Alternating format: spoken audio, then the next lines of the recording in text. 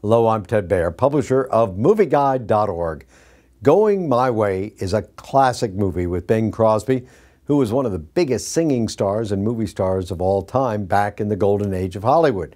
It's a story of Father O'Malley, played by Bing Crosby, coming to a rundown parish, getting into trouble with the senior pastor, but looking out for the needy members of the parish who need love, compassion, and to be brought into the kingdom of God. There's a lot of good stuff in Going My Way, including Bing Crosby had been a songwriter, so he even makes up a song to raise money for the parish. The Going My Way is a wonderful classic movie guide.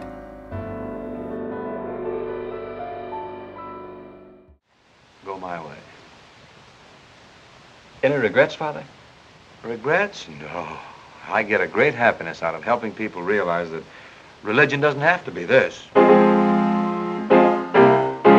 Taking all the fun out of everything. It can be bright. Bring you closer to happiness. You go to church, Ted?